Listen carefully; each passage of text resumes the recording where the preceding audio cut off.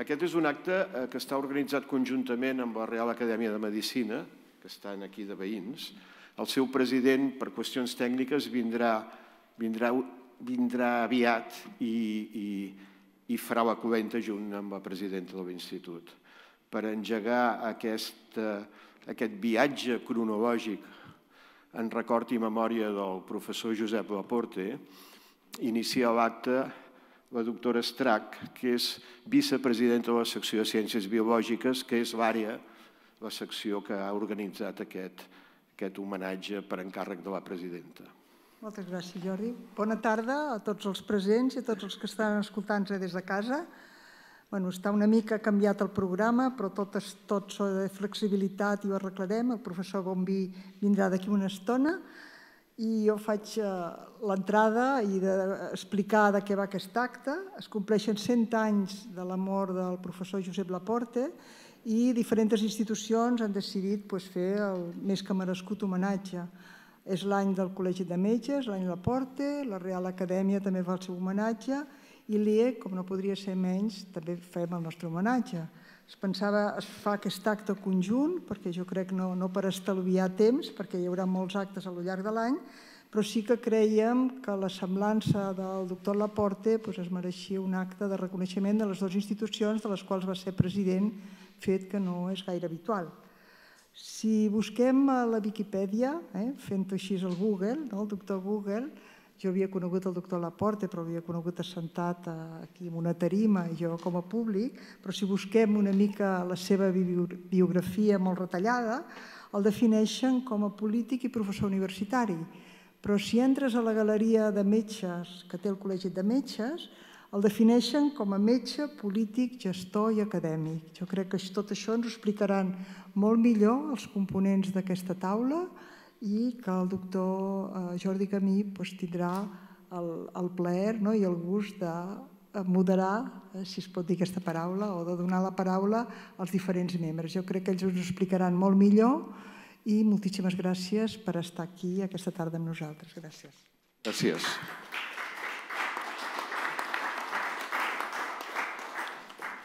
Bé, som-hi.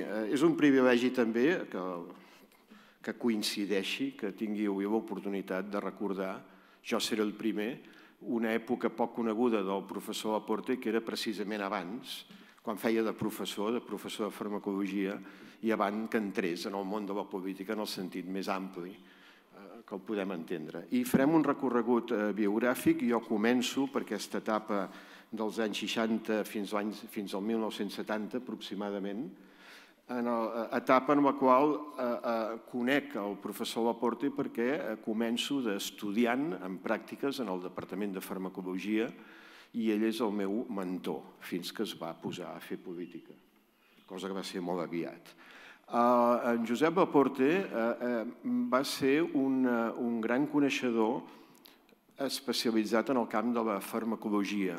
Ell era metge, va néixer l'any 22, va néixer, crec, a mitjans del mes de març, o sigui que fa poc que s'ha fet el centenari del seu naixement, i jo el vaig conèixer en l'any 71, eh, primer com a estudiant de Medicina i alumne intern, i després durant la meva etapa d'ajudant de classes pràctiques, que és aquella figura que hi havia en aquells temps de quan es començava la carrera acadèmica, i vaig tenir amb ell, eh, això, tot això era el Departament de Farmacologia de l'Autònoma de, de Barcelona, de la Universitat Autònoma de Barcelona, i va haver-hi, lògicament, una, una etapa de proximitat personal i professional que eh, va evolucionar pocs anys després, tan bon punt, la meva relació amb ell, eh, eh, va guanyar les eleccions de rector a la Universitat Autònoma de Barcelona l'any 76, etapa molt especial a la qual s'hi referirà en Borja de Rique a continuació. Eh, jo recordo aquell doctor Laporte, mm, ja, ja era un personatge. Eh, avui amb la presidenta parlàvem de que fins i tot l'alçada, l'aspecte, no, no, no era la manera de vestir, el llenguatge no verbal, moltes coses implícites ja el feien una persona que s'imposava. No s'imposaria si no tingués un, un tracte i, i no tingués una manera de pensar també molt especial. Ell, ell era molt respectuós amb les persones que tractava, era, era poc corrent. Penseu que estem a les acaballes del franquisme i eh, eh, en allà ja hi havia algunes escletxes de reformisme, el mateix naixement de l'autònoma n'és un exemple, i per tant era una etapa d'una intensitat d'una intensitat molt gran, tant com a estudiants com a primer començant la carrera acadèmica, era una etapa d'ebullició, de, d'efervescència, on s'acabava el franquisme, començaven les primeres reformes, i tant estudiants com professors eh, penseu que jo vaig, vaig començar, vaig ser la segona promoció de Medicina de l'Autònoma i tot era entusiasme. Eh? Els professors, els estudiants eren pocs. Allò va crear una determinada família que ens va marcar després en la vida professional. En Josep Laporte havia acabat, havia acabat eh, eh, va iniciar Medicina l'any 45 a la Universitat de Barcelona i la seva primera formació, els seus primers anys de formació, ho van ser la càtedra de farmacologia que dirigia, amb tots els respectes, l'inefable eh, Francisco García Valdecasas. En Josep Laporte eh, no va deixar la farmacologia, en García Valdecasas era el seu mestre, va fer unes estades a Oxford i a Milà i va, va acabar guanyant l'any 67 la càtedra de farmacologia de la Universitat de Cádiz. Heu d'entendre que aquells eren temps marcats pel centralisme. Eh? Les oposicions es feien només a Madrid, les càtedres eren propietats, allà on hi havia un catedràtic ja no n'hi havia dos, perquè eren propietaris d'aquell territori, eh? eren posicions unipersonals i per acabar-ho d'adobar estaven repartides a la, a, la, a la pell de brau d'acord amb les diferents escoles en disputa. I, per tant, en farmacologia hi havia l'escola de Madrid, que era la majoritària, i l'escola de Barcelona, que era la minoritària, que per cert estava capitanejada per en García Valdecasas. Cada escola tenia les seves províncies i un podia aspirar a promocionar-se, com li va passar amb en Josep Laporte, si, eh, eh, si enganxava una vacant havia d'haver-hi una vacant, perquè allà on hi havia un catedràtic, no hi havia catedràtiques en aquella època, no hi havia res a fer, però allà on hi havia una vacant i que formés part del subconjunt territorial que dominava l'escola de Barcelona. Aquesta és la raó per la qual en Josep Alporte va anar a parar a Cádiz, que a més era, era una secció, la Facultat de Medicina, que depenia de la Universitat de Sevilla. Eh? Després, abans de tornar a Barcelona, va passar un temps, uns mesos a València, però de fet no, crec que no hi va acabar ni, ni visquent. Eh, la creació durant els anys 60, que és una, una, una operació reformista, de les noves universitats autònomes a Barcelona, Madrid i al País Basc, va, va comportar eh, nous escenaris en el panorama universitari espanyol d'aquells temps. Eren, eren, eren moviments reformistes, penseu que en aquell temps el, el, el ministre eh, era en Villar Palací, era en, en, en José Luis, i el seu germà, en Vicente Villar Palací, el van anomenar president de la comissió gestora i primer rector de l'Autònoma de Barcelona. Eh? Encara vivia en Franco, insisteixo molt en això. Eh? I a l'Autònoma es van programar a partir del 68 nous estudis de medicina addicionals a la històrica, la única llicenciatura en medicina que hi havia a Barcelona, que era la del, la del clínic. No? Per tant, els que érem estudiants de l'Autònoma ja, ja ens tenien mania, no? els del clínic, aquests, aquests nou vinguts. Bé, doncs en aquest context crec que val la pena recordar un, un detall perquè en Josep Aporte no hagués segurament arribat a Barcelona, potser la seva biografia hagués sigut la mateixa, si no hagués estat perquè el propietari de la càtedra de farmacologia de la nova Universitat Autònoma va tenir la generositat, també hi havia altres temes al darrere, de desdoblar la seva càtedra per tal de fer possible una assignatura nova i inventada, moderna, de, farma, de terapèutica i farmacologia clínica en el darrer, en el darrer curs de la llicenciatura en Medicina, i va ser gràcies a aquest acte, jo crec, de generositat, que es va desdoblar aquesta, eh, va haver-hi una nova càtedra a Barcelona i en Josep Laporte va fer oposicions i va arribar a Barcelona.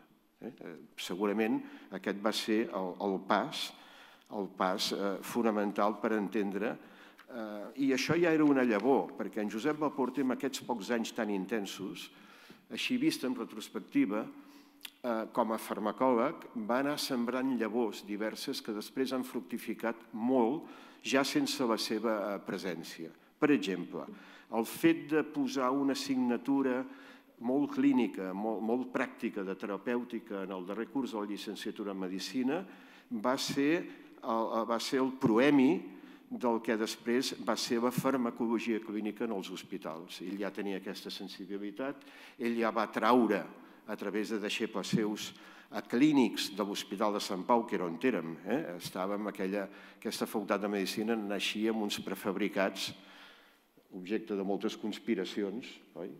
que encara, encara existeixen, per cert, en el recinte de l'Hospital de Sant Pau. Ella treia clínics, però ella anava sembrant una cosa que després va fructificar en absència seva. I és que això va comportar que alguns de nosaltres, deixebles, ens incorporéssim en els hospitals docents de l'Autònoma, Sant Pau, Vall d'Hebró i, i Hospital del Mar, com a metges farmacòlegs clínics, i poc temps després es va crear tota una especialitat mèdica, la farmacologia clínica, que avui està a tot l'estat espanyol, però jo crec que les llavors de tot allò aquelles llavors estan en mans d'en Josep Laporte. Ell amb això s'hi va dedicar molt, molt intensament. Ell combinava la seva activitat acadèmica, assessorava de manera regular a laboratoris Esteve. Cada dia jo el veia anar i tornar a laboratoris Esteve perquè eren veïns, no? l'Avinguda Verge de Montserrat i el recinte de Sant Pau. I va eh, generar eh, literatura i bibliografia molt, molt pionera en relació al camp de la terapèutica, en el camp de la patologia farmacològica o de la iatrogènia, això és una llavor molt important que en Joan Ramon, que per cert, en Joan Ramon Laporte, acadèmic i que està aquí i qui ha col·laborat en, en l'organització d'això, doncs ell és un dels, jo diria, del, dels líders d'aquesta visió tan pionera que també es va sembrar en aquella època. En Josep Laporte editava eh, cada any, ja ho va començar a fer des de Cádiz, cada any editava unes monografies on convidava em, em cridava especialistes a fer revisions en terapèutica. En aquella època no hi havia internet, no hi havia res de tot això, i per tant aquells llibres eren allò més modern que existia en relació a les novetats de la terapèutica que exigia una feina prèvia que ell encarregava. Fins i tot ja quan era conseller de Sanitat fa el darrer pròleg, el fa l'any 82, on ell deia alejado de la docencia desde, hace algún tiempo, no?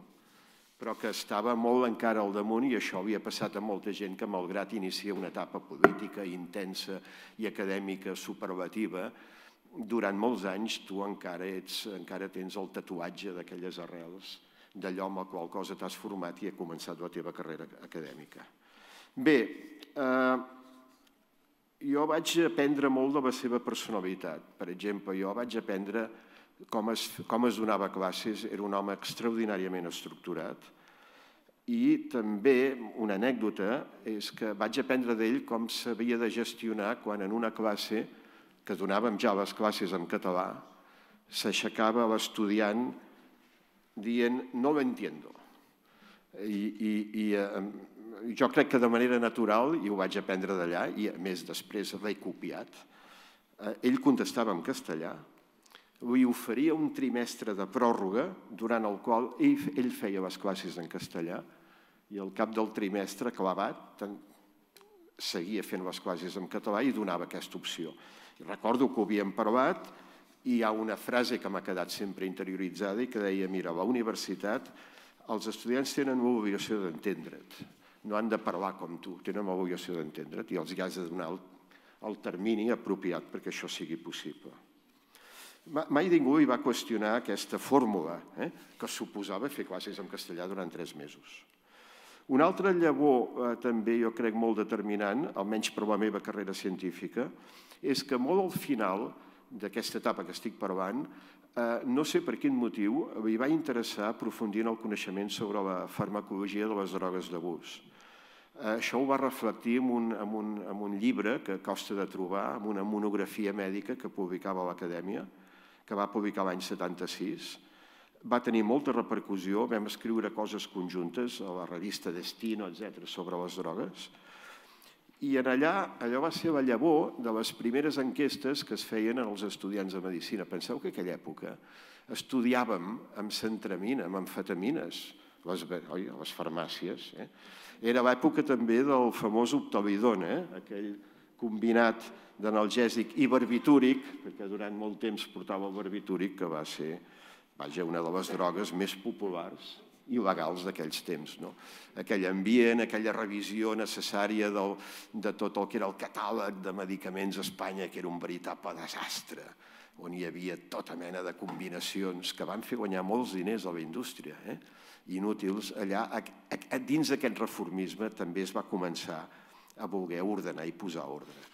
Bé, és un altre tema. Jo crec que ell va sembrar la llavor. Jo m'he dedicat durant més de 40 anys, ara ja no, a, a, a, la recerca sobre les drogues i els fàrmacs psicoactius en humans i la llavor la va posar ell. Uh, també he viscut la seva transició de professor cap a polític. Uh, ell, ell tenia, tenia una gran determinació i tenia una manera de relacionar-se, insisteixo, molt especial. Eh? Són aquestes habilitats innates per a la diplomàcia, que diem. Um, a mi em tractava de vostè, aquest és un tema que no em puc allargar, perquè és un clàssic amb ell, ell tractava de vostè a tothom i, i, i fins a que arribaves a un punt, i si, i si eres els que arribaves a aquest punt que un dia et cridava per dir ja em pot tractar de tu, i ara ets una altra persona dins de la seva, és veritat això, no? Jo no recordo com va acabar, jo només recordo que... Però eh, sí que recordo que em deia, eh, eh, Jordi, jo jo el que m'agradaria ser és conseller de Cultura de la Generalitat. A mi això m'ho deia en l'any 73, perdó, en, uh, sí, en l'any 70 i pocs. Jo no l'entenia, perquè en aquella època, per exemple, segurament jo no sabia ni qui eren Terradelles. No tenia, no tenia la cultura i ell m'explicava un desig i per tant això jo crec que el marca d'aquestes persones que tenen aquesta determinació tan gran i que no sé el que passa, no sé els astres com es conjuminen, però acaben passant coses molt relacionades amb la intencionalitat de la persona. Ell era també un demòcrata, i acabo, um, era un demòcrata, perquè nosaltres com a estudiants érem tots comunistes. Uh, estava, allò, era una, allò era una efervescència magnífica. No? Ell tenia la seva personalitat i el seu tarannà. Per exemple, ens va finançar eh, un viatge a Madrid, va pagar la benzina, ens va, vam anar al cotxe amb un metge de, de l'Hospital de Sant Pau per anar a recuperar un estudiant molt, molt significada que sortia de la presó, estudiant que, per cert, després ell es va moure per traslladar l'expedient i va acabar estudiant amb nosaltres a, però vaja, aquests detalls expliquen una mica que, que ell era un demòcrata i per tant estava, feia costat a iniciatives que no necessàriament un les associaria amb ell.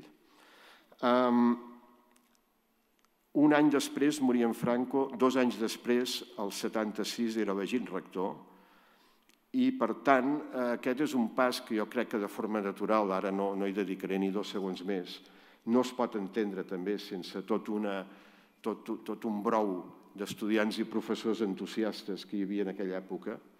Per tant, ell és el primer rector que fa possible un eslògan de cap a una universitat autònoma, democràtica, científica i catalana, que era el nostre eslògan, i que ell va defensar de manera molt vehement en un claustre, això ho explicarà ara en, en Pancho. I és, I és en aquest context que crec que eh, eh, comença la seva transició de la seva etapa més coneguda com a polític, Eh, eh, eh, que va començar l'any 80, això ho explicarà el doctor Trias, i havent, eh, acabant presidint i havent presidit les principals institucions acadèmiques de Catalunya com l'Institut d'Estudis Catalans. Era una època curta, però ja els hi dic jo, extraordinàriament intensa. Li passo ara la paraula a en Borja de Riquer. En Borja de Riquer és catedràtic de Història Contemporània, eh, segles XIX i XX, oi? De la Universitat Autònoma, bé, ara és catedràtic honorari, però també és president de l'Acadèmia de Bones Lletres, que fa poc en parlàvem perquè s'ha fet l'obituari del professor Massot, abans de que comencés aquest acte. I en, en, en Borja de Riquent Pancho, com, els, com el coneixem alguns, era una persona molt activa i molt coneguda durant aquesta època, ja els hi explico, en el que era l'ambient universitari de la, de la nova Universitat Autònoma. Moltes gràcies. Bé, bona tarda a tothom. Agraeixo molt a l'amic mi que m'hagi convidat a participar en aquest acte de record a Josep Laporta, en el qual em va, vaig estar molt unit durant una sèrie d'anys. Josep Laporte va ser el primer rector universitari escollit democràticament a l'estat espanyol després de 1939. El primer. I ho fou en unes circumstàncies extremadament difícils, tant per la universitat com pel moment polític que es vivien en els darrers anys del franquisme i la transició. I això fou possible perquè la Universitat Autònoma de Barcelona s'havia creat un ambient d'àmplia convivència democràtica entre el professorat, els estudiants i també el personal va permetre crear un ambient i unes circumstàncies que van possibilitar aquest cas tan excepcional.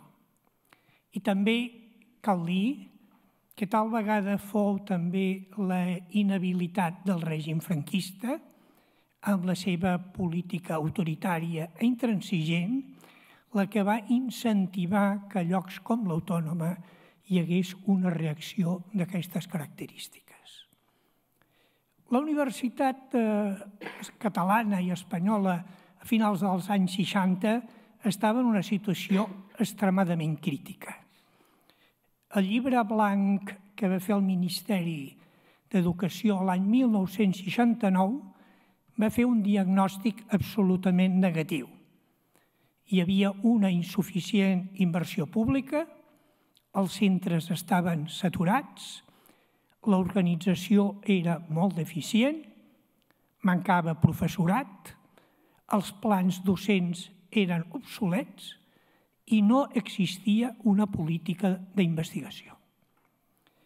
Amb aquesta panoràmica fou quan els reformistes del franquisme, com José Luis Villar Palací, ministre d'Educació des d'abril del 68 van endegar un programa de reforma de les universitats que passava primerament per crear les tres famoses universitats autònomes de Madrid, Barcelona i Bilbao.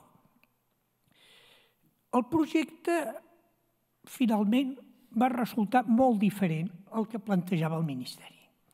El Ministeri plantejava una universitat aïllada, al marge de la que tenia tots aquests problemes, que fos un laboratori excepcional no contaminat i a ser possible molt avançat.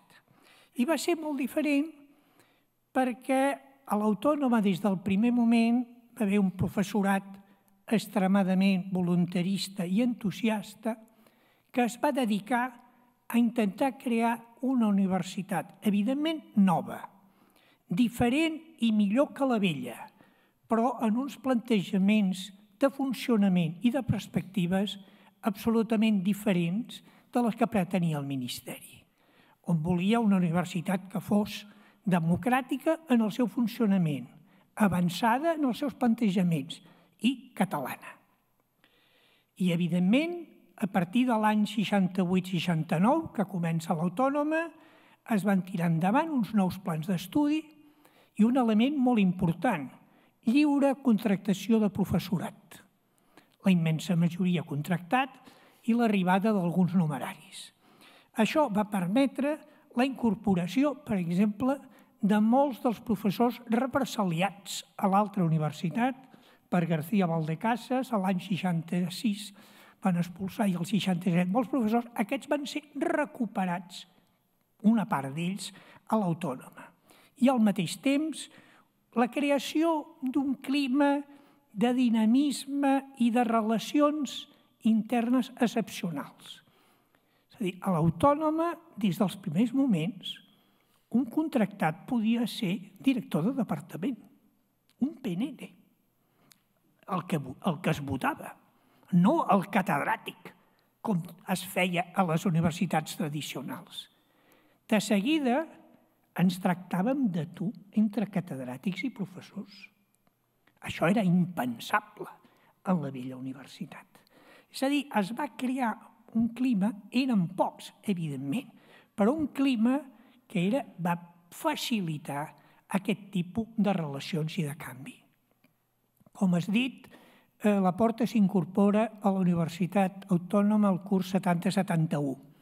En aquell moment, la Facultat de Medicina, que estava a Sant Pau, va ser pionera en tot l'estat espanyol amb una cosa, que és la descentralització de la formació clínica en centres hospitalaris. Es va signar llavors els primers convenis en el Vall d'Hebron, llavors Generalíssimo Franco, hi havia l'Hospital de Mar, que juntament amb Sant Pau es convertiren en els centres per les assignatures clíniques, cosa que va ser excepcional, perquè no hi havia cap altra universitat a l'estat espanyol llavors que tingués aquest tipus de convenis.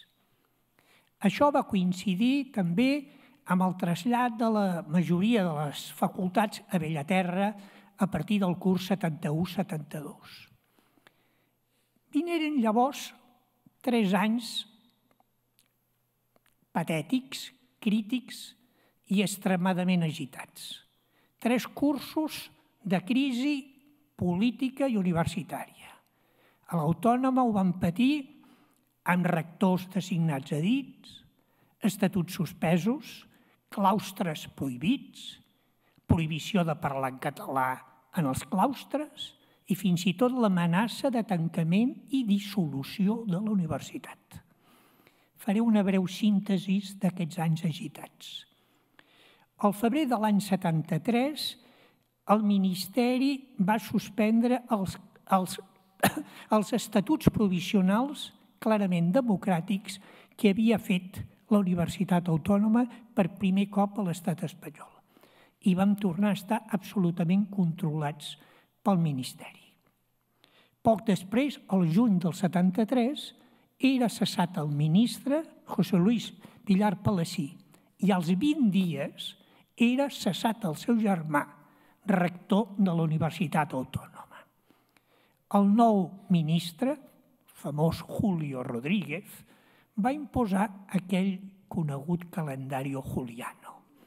Això va significar que des del mes de juny de l'any 73 fins a gener del 74 no va haver classes a cap universitat de l'estat espanyol.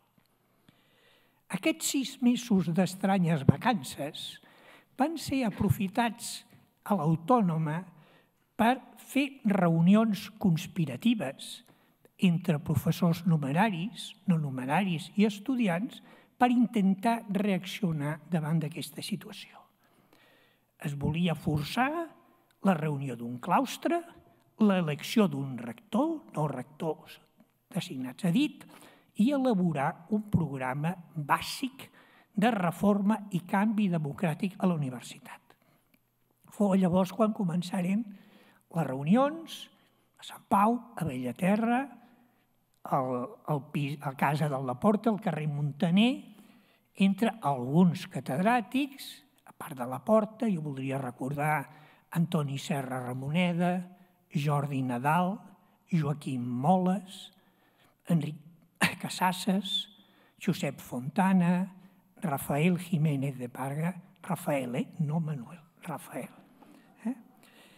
I Penenes, la llista seria llarguíssima, però voldria recordar, per exemple, Enric Lluc, com un dels homes que es va educar més, Narcís Serra, Joan Claver, en fi, molts altres.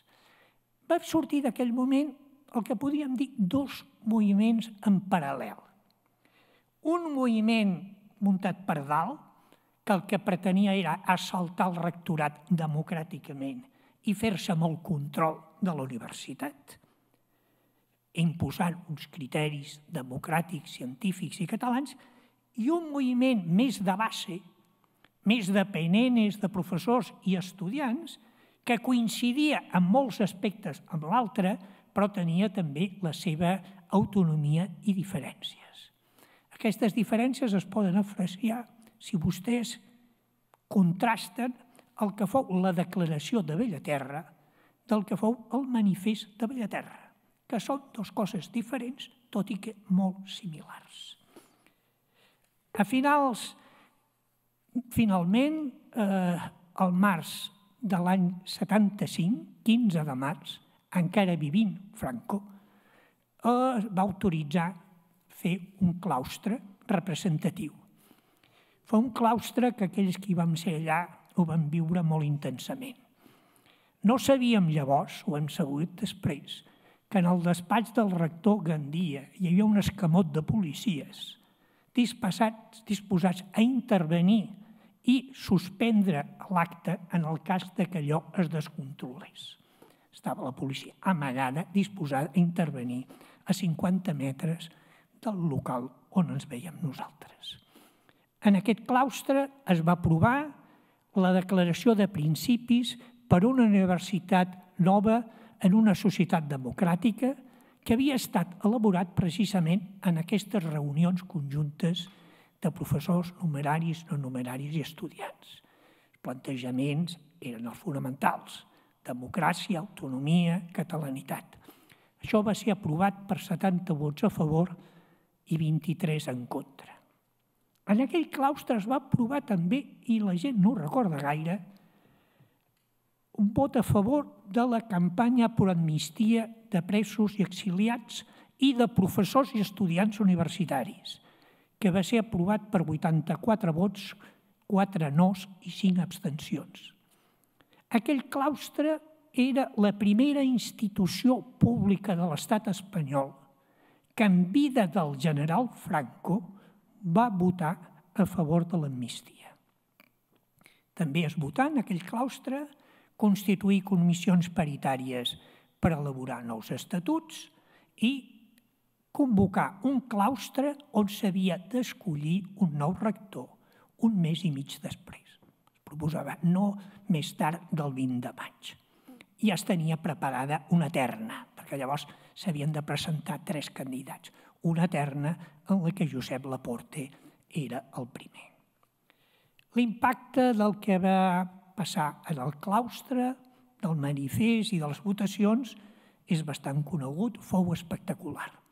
I la reacció del Ministeri també. Evidentment, va prohibir el claustre i va donar la negativa a tot el que es demanava. Aquell curs, molts de vostès el recordaran, va acabar bastant malament a Bellaterra des del dia de Sant Josep, 19 de març, fins a final de curs no va haver classes, va haver vaga.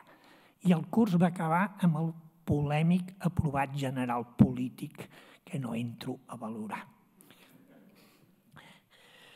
A la taula del ministre, Carlos Robli, Piquer, cunyat de Fraga, va haver, i això ho han sabut després, una proposta per tancar la Universitat Autònoma, per liquidar-la administrativament i tornar-la a incorporar a la Universitat de Barcelona.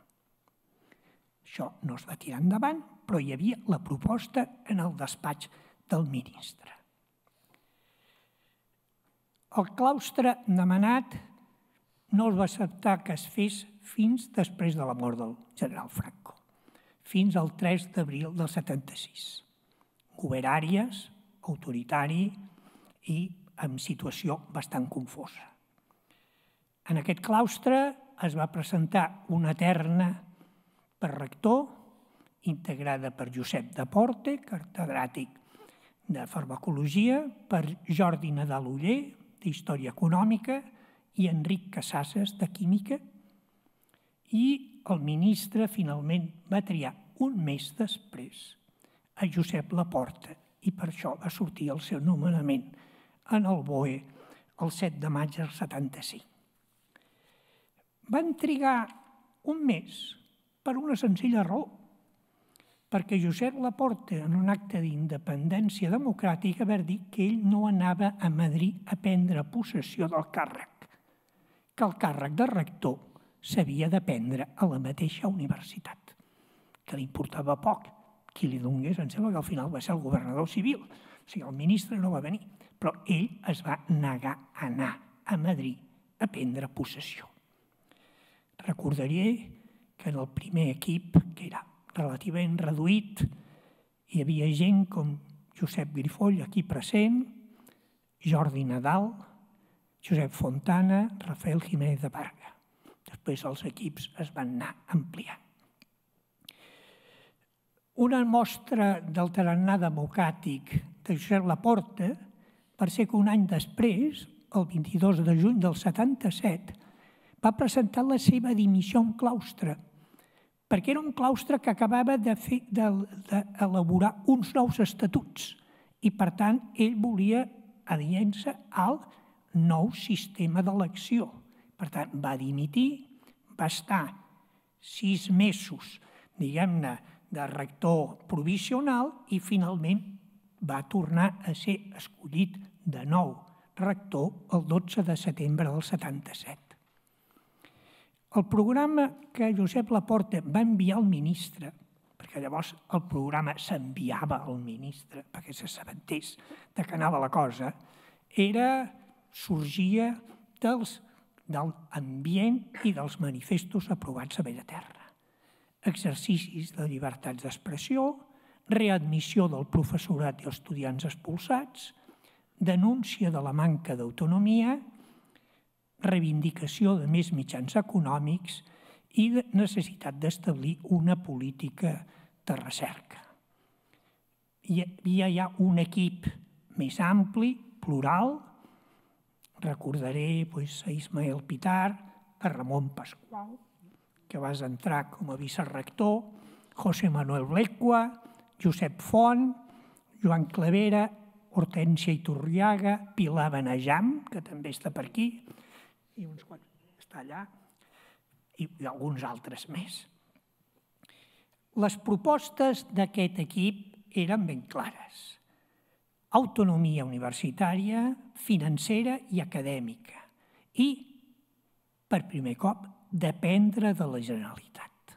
Estem a l'any 77, ja hi ha la Generalitat Provisional de Terradelles i comença la batalla per dependre de les institucions catalanes. És per això que el curs següent, 77-78, Josep Laporte es va adreçar al rector Antoni Maria Badia Margarit de la Universitat de Barcelona i Gabriel Ferreter de la Politècnica per constituir en tots tres el Consell Interuniversitari Català amb la pretensió de fer una pressió conjunta a favor de la catalanitat de la universitat i encetar un procés d'integració a la Generalitat enfront d'una llei que estava preparant ja el govern Suárez, que volia mantenir la dependència del Ministeri d'Educació i Ciència. Fou aquest organisme, juntament amb l'activitat de cada universitat, el que va anar pressionant i evidentment, l'actuació dels partits polítics en el Parlament espanyol que van canviar les coses. Recordaré que un dels últims actes del rector Laporta a l'Autònoma, i el curs 78-79, fou un míting a la plaça cívica amb tres diputats que eren professors, un de Convergència, un del PSC i un del SUC, contra del projecte que preparava el govern Suárez, que pretenia diluir l'autonomia universitària, menys tenia la Generalitat i continuava el control del Ministeri d'Educació sobre les universitats. Poc després, a gener de l'any 80, Josep Laporta va dimitir com a rector perquè anava a presentar-se a les eleccions catalanes de mesos després. Acabo. Fou un rector polític, evidentment. Evidentment perquè el temps, les circumstàncies, el van portar a prioritzar l'acció política si on volia fer una universitat amb la perspectiva del que volíem la immensa majoria dels universitaris. I, per tant, la seva actuació, evidentment que hi havia elements de gestió però la prioritat va ser l'acció política i amb això tenia el suport i, diguem-ne, absolut de la immensa majoria del seu. Fou un rector demòcrata, tolerant, respectuós amb la ideologia de tothom, que va saber crear un bon ambient, un ambient de convivència, d'entusiasme, de col·laboració, que en bona part responia a aquest ambient que s'havia creat a la Universitat Autònoma. Penso que la Universitat Autònoma, les universitats catalanes i en general el país està molt en deute amb ell per el que va fer. Moltes gràcies.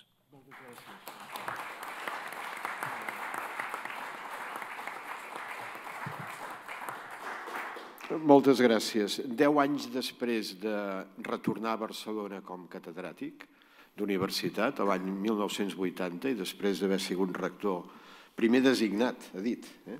després elegit democràticament, i sense acabar aquest primer mandat, en l'any 80, 1980, es presenta com independent a les llistes de Convergència i Unió a les eleccions al Parlament de Catalunya, és elegit diputat i després comença un, un període molt conegut dos períodes de vuit anys, quatre i quatre anys, com a conseller de, de, de Sanitat del primer govern Pujol, de fet, i que ens en parlarà en Xavier Trias. En Xavier Trias sabeu que és metge, és pediatre, és molt més conegut, no tant com a pediatre, sinó per tota la seva tasca política llarguíssima i intensa, conseller de Salut, de Presidència i també com a alcalde de Barcelona. Xavier, gràcies. Eh, moltes gràcies presidenta de l'Institut d'Estudis Catalans, president de la Real Acadèmia de Medicina.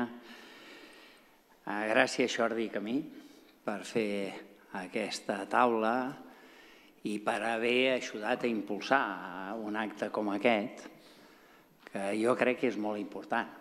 No tenim tants personatges com en Josep Laporte. És, és una cosa que et xoca de que la iniciativa de fer l'any Laporte és una iniciativa que pren el Col·legi de Metges, cosa que jo és de, crec que és molt d'agraït que prengui aquesta iniciativa, però jo crec que hi ha moments que la gent no se n'adona de la importància i el que ha arribat a fer en Josep Laporte. Perquè en Josep Laporte és veritat, és una persona que era independent, i és una persona que ell estava convençut de que el farien conseller, va anar a les llistes i estava convençut que el farien conseller no de cultura sinó d'ensenyament i de cop es va trobar pues, que el van fer eh, conseller de sanitat. I jo crec que va transformar la sanitat, després ha transformat l'ensenyament, ha transformat les universitats. No conec ningú, ningú ni dels governs Pujol ni dels governs posteriors que hagi sigut capaç de fer el que ha fet en Josep Laporte. I això jo crec que és una, una cosa que hem de reivindicar perquè el país, eh, Catalunya, necessita de referents. I necessita de polítics Eh, que dignifiquin i que siguin un exemple de la política per la gent. I aquest jo crec que és el cas d'en Josep Laporte? Una persona amb talent, una persona amb capacitat de treball, un home honest i un home que, a més, eh, tenia una passió per al país. Jo l'he viscut com el meu jefe, com a conseller de Sanitat, el meu conseller. L'he viscut com a company, com a company de partit. Jo vaig entrar a la Conselleria de Sanitat l'any 81. Jo l'havia conegut uns mesos abans perquè ell em va trucar i em va dir que el anés a veure per dir-me, escolta, em fes un estudi sobre la intoxicació per l'oli de colza desnaturalitzat en els nens i al cap de poc pues, em va cridar ell amb la directora general per dir-me si volia ocupar-me del tema dels hospitals perquè el traspàs es anava a produir, es va produir a, a octubre-novembre del 81. La veritat és que em va oferir això, entre altres coses, perquè jo feia poc m'havia fet de Convergència i també diguem la veritat perquè Convergència el veia suquero i deien, deien com pot ser que Convergència haguem posat aquest conseller que, escolta, que és del suc, que, escolta, eh? I tenia pues, unes crítiques importants i ell sabia que jo pues, creia que es feien les coses bé i que creia que tenia molt clar com s'havien de fer les coses i per tant pues, em va demanar que m'hi estigués, vaig dir que hi estava per un any, m'hi he estat tota la vida, i a més m'ha permès viure els moments millors de la meva vida i he disfrutat molt, i jo sempre dic que després dels meus pares i la meva família, la persona més important a la meva vida ha estat en Josep Laporte i també el president Pujol. És a dir, són dues persones que a mi m'han marcat eh, d'una manera molt important. Tant, l'he viscut com això, l'he viscut com a company, perquè gràcies a ell o per culpa d'ell eh, doncs a mi em van fer conseller, perquè al cap de vuit anys doncs el van fer conseller d'ensenyament i ell va dir, escolta, m'has de fer conseller de sanitat en en Xavier Trias i, i per tant després vaig viure una època com a companys, com a companys de govern, vivint les vicissituds del govern, eh, comentant eh, el que passava, l'he viscut eh, com a comissionat d'universitats i l'he viscut d'una manera molt important a partir d'un moment com a amic.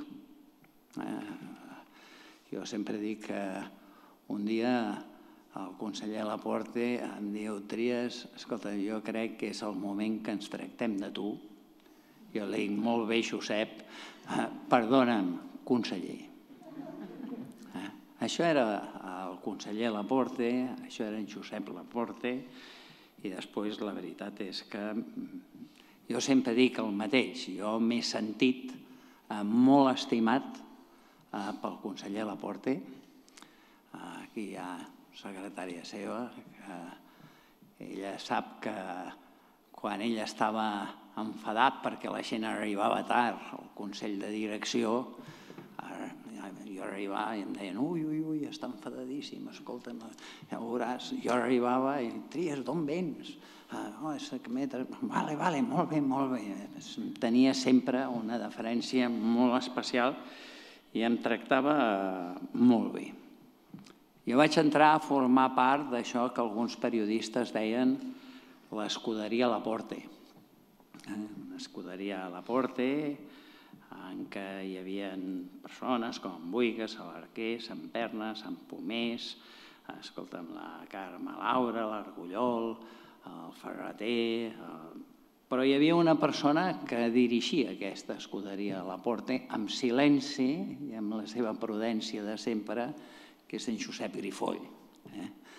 A la Porte, eh, la majoria de coses no les feia si no rebia primer eh, l'assegurança de Josep Grifoll que allò es podia fer i que allò aniria endavant i que les coses anirien bé. Era un home que deia jo independent, era un científic, era un enamorat de la universitat, era un enamorat de la formació, de la recerca, de la innovació, de la innovació amb una cosa que poca gent eh, és entusiasta, que és la innovació a la gestió, ens deixava fer les coses diferents, que no és freqüent, i això hi ha ocasions que genera molts problemes, perquè dintre l'administració pública tothom vol seguir, no vol, no vol fer aquestes innovacions, i era una persona que era un gran defensor de lo públic, i una persona que defensava també tots aquells privats o semiprivats o falsos privats que jo dic, tots aquells centres que tenen vocació, que tenien vocació eh, de servei públic. Era un socialdemòcrata, un nacionalista, un defensor de la llengua, un amant de les arts, de la música, de la cultura, i era un home eh, com es deia aquí, elegant, amb sempre amb el seu corbatí.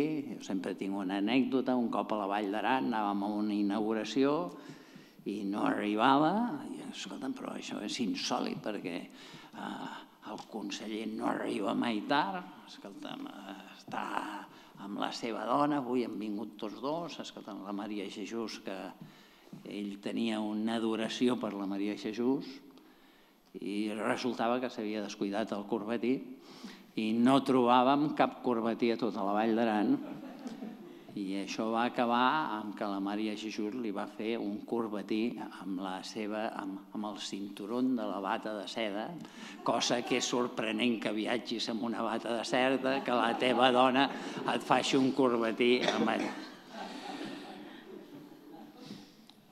Era una persona que tenia una cosa i desprenia una cosa que té poca gent, és autoritat, no autoritarisme sinó autoritat moral. Era un home respectuós, dialogant, i era una persona que a mi sempre m'ha sorprès, que era molt generós, inclús era generós amb els adversaris, perquè amb gent que ens feia la punyeta, eh, pues, a la porta els defensava, no en parlava malament. Eh? Nosaltres teníem un ministre que ens va trastejar molt, que intentava que no ens arreglessin les coses econòmiques, i jo sempre deia, escolta, aquest tio tries, home, deixa-ho, deixa-ho, ja veuràs que... Bueno, escolta'm. I era un home valent, era un home valent. Abans heu explicat tota la qüestió a nivell de la universitat, com a conseller valent, perquè agafar eh, el traspàs de la sanitat s'ha de ser molt valent. Eh, ens el van traspassar dient que era cos real i ens van enganyar i vam estar sempre lluitant eh, per culpa d'aquesta situació eh, difícil i complicada. Des del primer dia el conseller Laporte va tenir molt clara una cosa de que eh, hi havia tres espais bàsics per transformar el país. L'educació, la sanitat i la recerca. I ell creia que això eren les eines que podien transformar i jo crec que la recepta que va aplicar la sanitat, després la va fer amb ensenyament, jo crec que va ser una recepta important.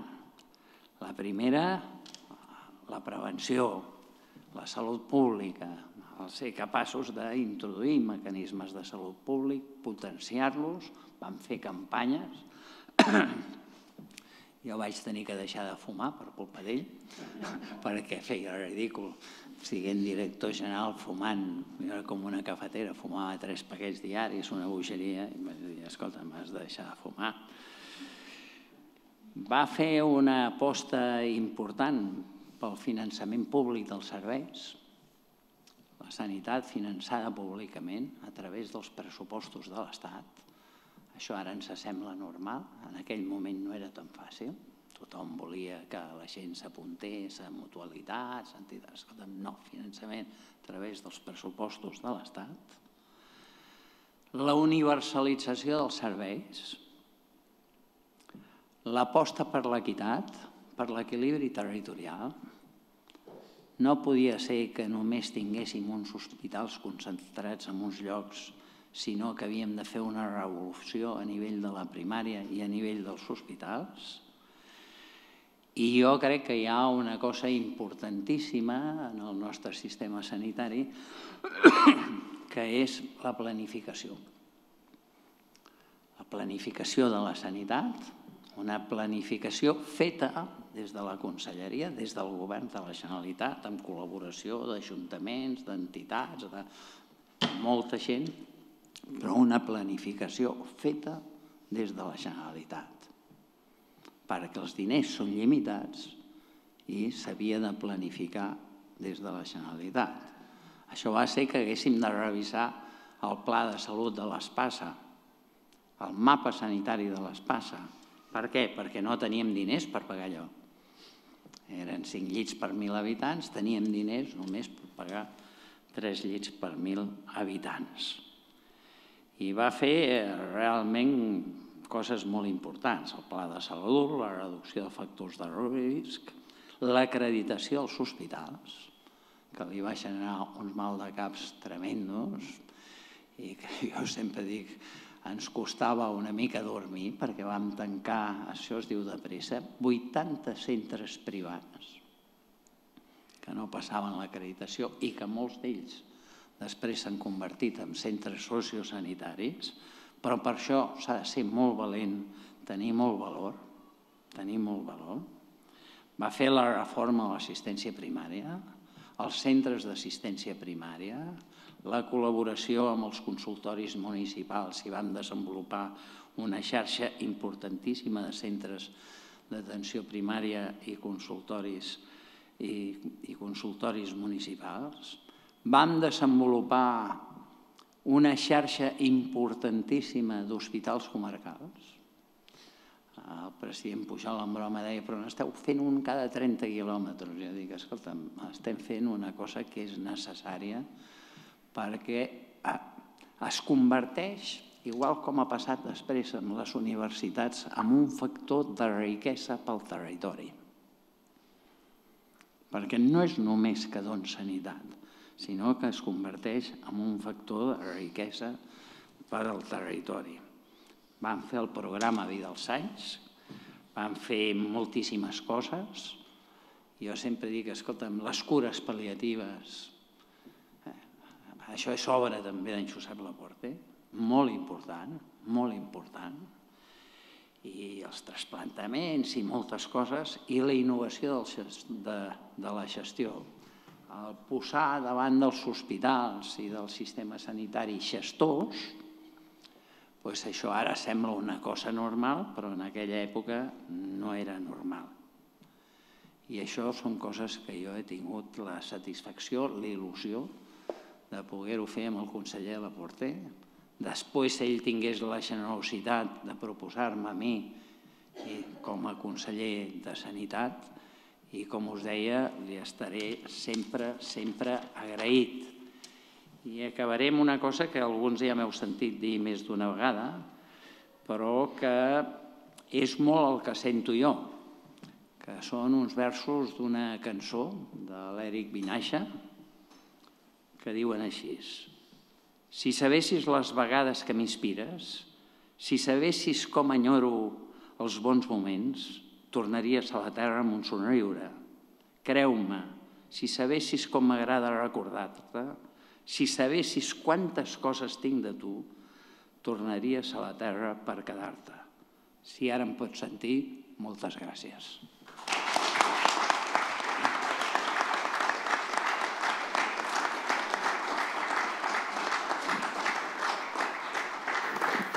Moltes gràcies, Xavier. Eh, el conseller Laporte, Josep Laporte, va ser conseller de, de Sanitat en dos, en dos etapes, del 80 al 88, i en el 88 és nomenat conseller d'Ensenyament. Josep Laporte segueix. Eh?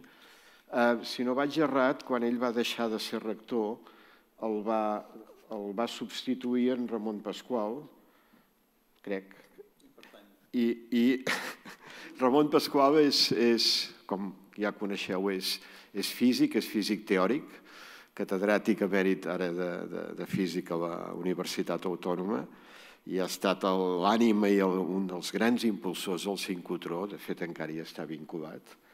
I ens parlarà d'aquesta etapa de conseller d'ensenyament, el 88, quatre anys després és nomenat comissionat d'universitats i recerca, i, i deixeu-me dir que quan en, en Josep Aporte comença a fer política amb el govern Pujol, ell ja havia, recentment havia entrat com a membre numerari de l'Institut, també va ser elegit membre de la Real Acadèmia, havia ja presidit l'Acadèmia de Ciències Mèdiques del 70 al 74, vull dir, ja portava certa mili amb tot el que era aquestes institucions.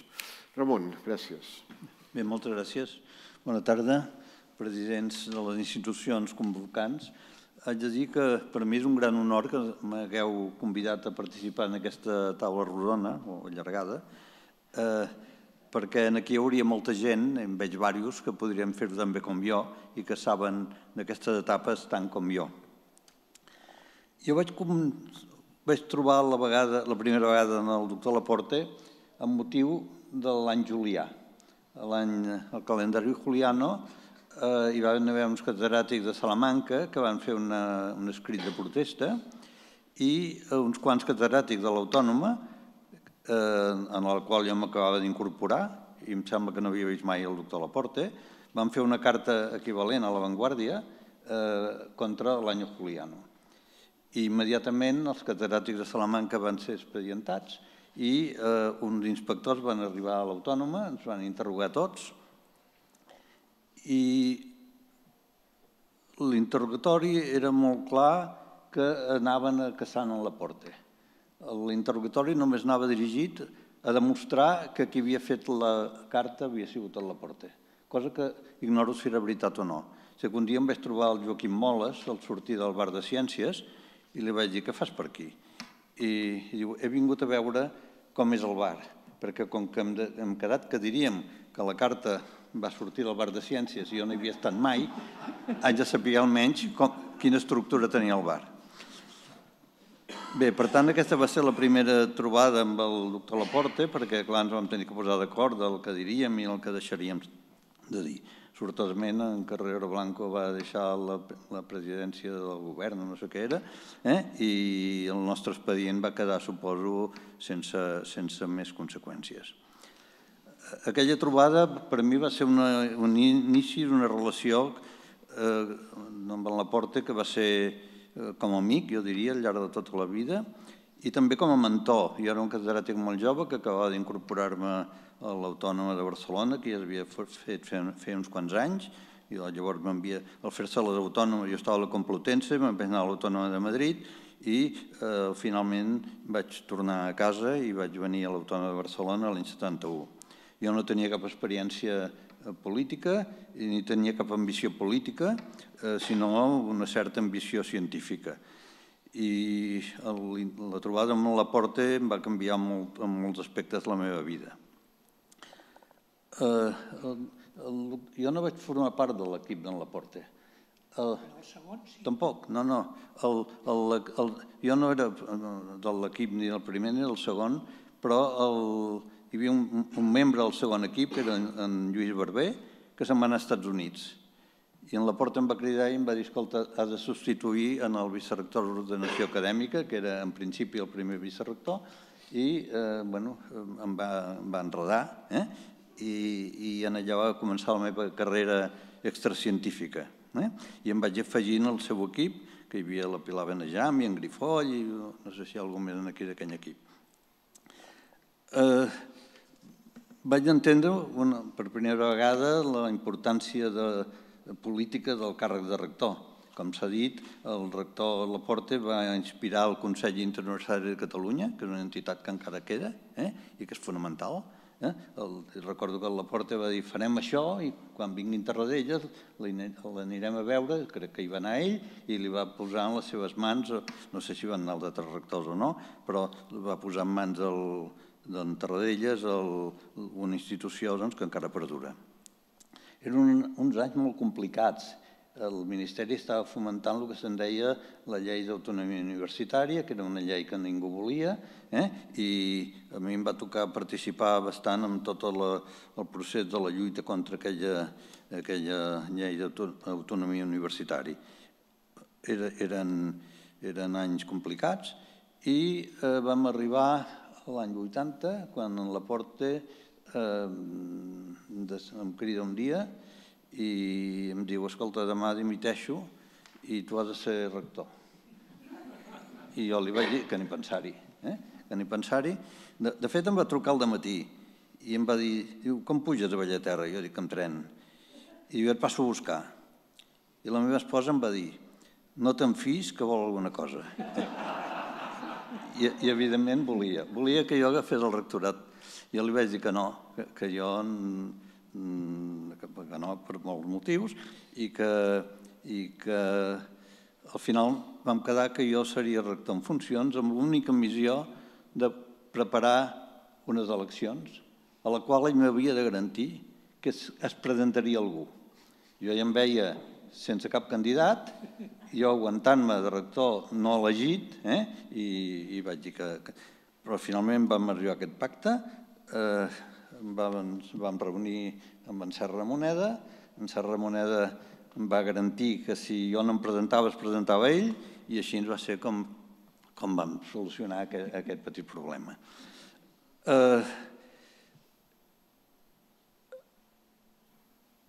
com, a, com resultat de les eleccions va ser conseller de Sanitat, però vam seguir, vam en contacte. Jo vaig, contacte, vaig seguir treballant, seguint els seus, els seus consells i, de fet, al cap de pocs mesos el, em va cridar el conseller d'Ensenyament, en Joan Guitar, i em va proposar ser director general d'ensenyament universitari. Eren els moments en què s'anaven a produir els traspassos d'ensenyament primari, secundari, professional i universitari. Eh, I es van crear quatre direccions generals, me'n va oferir una, eh, jo immediatament vaig anar a veure en la porta, en el, a casa seva al carrer Montanent, aquella, aquella sala rodona, que després hi vaig anar tantes vegades, i em, mm, em va dir que sí, que havia d'acceptar. Diu, no, no, ja sabia que t'ho dirien, eh, accepta. Dic, és que jo no sóc del partit. I diu, no passa res, diu, jo tampoc en soc, i, el, i en el partit hi ha tres sectorials de sanitat. No sé si és veritat o no. Diu, diu, diu, diu i no passa res. Total, que, que, que bueno, jo vaig, vaig seguir els seus consells, vaig acceptar el nomenament i mm, vaig aguantar dos, un parell d'anys eh, i al cap d'un parell d'anys jo marxava, eh, ell es feia del partit eh, i continuava fent de conseller de Sanitat molt, molt, amb, uns, amb uns fruits eh, molt interessants. Durant tota aquella època jo el vaig seguir tractant per eh, temes de formació de personal sanitari eh, i no vam tallar mai la relació. Fins que l'any 88 eh, ell va ser eh, nomenat eh, conseller de Sanitat, d'Ensenyament, quan jo ja era rector de l'Autònoma. Després en Serra Moneda, hi van haver unes altres eleccions, jo vaig ser rector de l'Autònoma, i me'n recordo que un dia venint, suposo que veníem a l'avió i, i anàvem amb cotxes venint de l'aeroport i li vaig preguntar, i tu quina cancelleria preferies, eh, sanitat o ensenyament? i va, no va dubtar un moment, em va dir, home, diu, ensenyament. I vaig dir, mare de Déu, però amb el complicat que és l'ensenyament. No? I diu, no, no, diu, escolta, mira, diu, eh, ensenyament hi ha vacances d'estiu, els caps de setmana, Nadal, Pasqua. En canvi, la Conselleria de Sanitat qualsevol dia de l'any hi pot haver un daltabaix a qualsevol hospital per una salmonel·losi. Eh? I, per tant, eh, ensenyament 50.000 vegades. A mi em va semblar una resposta absolutament demencial, però bueno, segurament tenia raó. Eh, com a conseller d'ensenyament, el doctor Laporte va, va, re, va rebre una conselleria que tenia molt poca infraestructura. Jo diria que les tres universitats que existíem, tots teníem més infraestructura que ell Eh? De manera que, que, que jo anava a veure'l, eh, dialogava amb ell com, com a amic i, que, i, i, i com a deixeble i després reivindicava com a rector. I era una, una situació bastant, bastant especial, però va funcionar molt bé. Eh? I quan vaig plegar com a rector l'any 1990, eh, vaig tenir alguna tentativa d'incorporar-me al seu equip, per part d'ell. Eh, jo no la vaig acceptar, evidentment, però parlàvem sovint. Eh? I en temps del, del director general Abel Mariner, que està per aquí, me'n recordo que vam col·laborar molt, i amb en Grifot també, amb els plans de recerca. El doctor Laporta va llançar els plans nacionals de recerca, que són coses que, que han tingut una gran importància, i jo vaig participar en alguna d'elles. Com a conseller va fer moltes coses. Recordem que va expandir el sistema universitari. Eh? Hi havia la discussió si s'havia de fer una quarta universitat a Barcelona o universitats territorials. Eh? Mm, finalment es van fer les universitats de Girona, de Lleida, i una que no es deia de Tarragona, eh? sinó que es deia Rovira i Virgili, eh? per raons que tots a ningú se li escapen. Eh? Eh, I també després també es va fer la Universitat eh, eh, Pompeu Fabra i, també a la Universitat Oberta de Catalunya. Eh? O sigui que va expandir el sistema universitari eh, perquè les universitats no, no només convenia que estiguessin expandides, sinó una miqueta, com en deien Xavier Trias, els hospitals generen eh, riquesa. Jo recordava sempre que, que quan es va fer els 10 anys del, del Col·legi Universitari de Girona, l'alcalde de Girona, que era en Quim Nadal, deia és que, clar, no té res a veure Girona quan no tenia col·legi universitari, ara que en té. Eh? I aquelles universitats crec que han, han sigut un encert, un encert molt important. També van ser anys, eh, quan era conseller d'Ensenyament, que es va aprovar la primera llei de la ciència. Una llei de la ciència que la Generalitat va recórrer eh, sense cap èxit. Eh? Eh, el Tribunal Constitucional va dir que bé, que si, que, si, que si la Generalitat volia fer recerca la fes amb els seus diners, però que mai hi haurien traspassos de recerca com no n'hi ha hagut. Eh? Eh, el, també eh, el doctor Laporte va prosseguir una cosa que es havia ja iniciat, que a vegades pensem que els instituts de recerca són coses molt més modernes. De fet, de fet a l'Autònoma ja en teníem uns quants instituts de recerca, es feien consorcis entre la universitat i alguna altra entitat, per, per exemple, el Centre d'Estudis Demogràfics, és una, un, un institut que encara és important, o altres instituts, eh, es va, va fomentar els, els centres de recerca, i personalment a mi em va afectar el que es va crear l'Institut de Física d'Altes Energies, al qual jo encara, encara estic lligat d'alguna manera. Després un viatge que va fer el president Pujol al CERN, en el qual a la porta, que no li agradava massa anar als llocs, eh? no va voler venir, i va enviar el president del Consell Social de l'Autònoma, i va enviar el conseller d'Indústria, va venir el president Pujol, eh, i ell no va voler venir, però eh, Conseqüència d'allò va ser la creació de l'Institut de Física d'Altes Energies, que és un institut que té aquesta distinció Severo Ochoa, que, que la fa bastant important, i és un bon institut de recerca d'ara. També el doctor Laporte va ser la primera persona en què cap a l'any 1991 ja li vaig exposar que a Espanya s'estava parlant de fer un accelerador de partícules, eh? el que se'n deia la Tau Chart Factory, que molts de alguns de vosaltres recordaran. Eh? Eh, el doctor Laporte em va, em va fer una reunió amb alguns altres consellers i es va decidir doncs, que Catalunya optaria a fer aquesta salora de partícules. Mm, vam preparar un dossier eh, i això no es va fer mai, però això es va convertir amb el temps, al cap d'un parell o tres anys, ho vam convertir en, una, en construir una font de llum de sincrotró.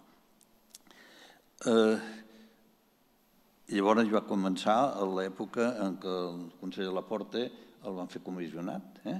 És una, crec que va ser una bona decisió. Recordo que un dia el president Pujol em va dir tu què en penses d'això que hem fet un comissionat?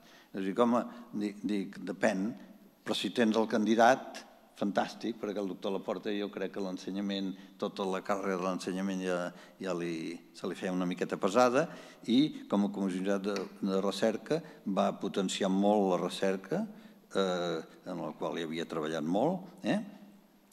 i va ser la persona en què eh, va seguir els primers anys del, de l'intent de fer una font de llum de sincrotró, de des de l'any 1992 fins al 2003 en què això es va aprovar, i van haver 10 o 11 anys que ningú creia en això. Eh? Ni, ni el conseller Trias, que, que era conseller de presidència, tampoc hi creia. Eh? Eh, i, i, eh? I bé, eh, entre el president Pujol i el conseller Laporte eren els que m'escoltaven, eh? jo anava a plorar, m'escoltaven, em feien cas, em deien que aguantés, i fins a l'any 2003 en què, en què, en què mm, això va crear-se un consorci, ja, malauradament el doctor Laporte va veure la constitució del Consorci, no va poder ser en l'acte d'inauguració de les obres d'Alba, que va ser el 2006, eh, ni, va veure, ni va poder veure la, la posterior evolució d'un dels jo diria, centres emblemàtics de recerca que hi ha a Catalunya. Durant tots aquests anys, eh, eh, quan jo volia alguna cosa el trucava, em rebia en la, en la sala aquella circular de casa seva eh? i sempre, sempre mm, les converses sempre eren aclaridores i estimulants.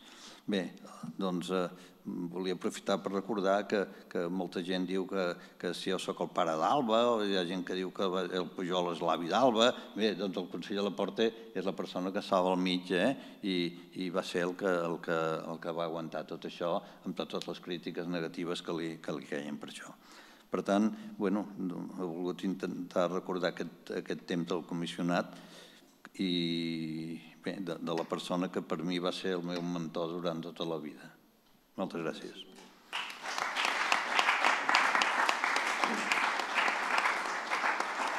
Gràcies. Bé, anem a la darrera intervenció d'aquesta taula allargada en qüestió. El, el conseller Laporte va ser conseller d'ensenyament en aquesta etapa 88-92, l'any 92, amb coincidint amb els Jocs Olímpics de Barcelona, perquè s'ubiquin en la història, és quan és nomenat eh, aquesta figura de comissionat, que s'ha de dir tot, eh?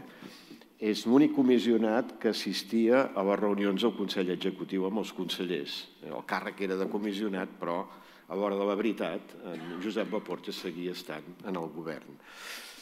Eh, un any després va presidir la Real Acadèmia de Medicina, i deu anys després va presidir l'Institut d'Estudis Catalans eh, durant tres anys, crec, perquè va morir mentre era president.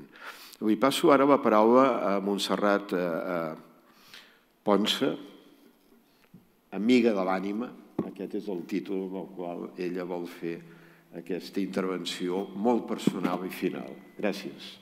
Bona tarda.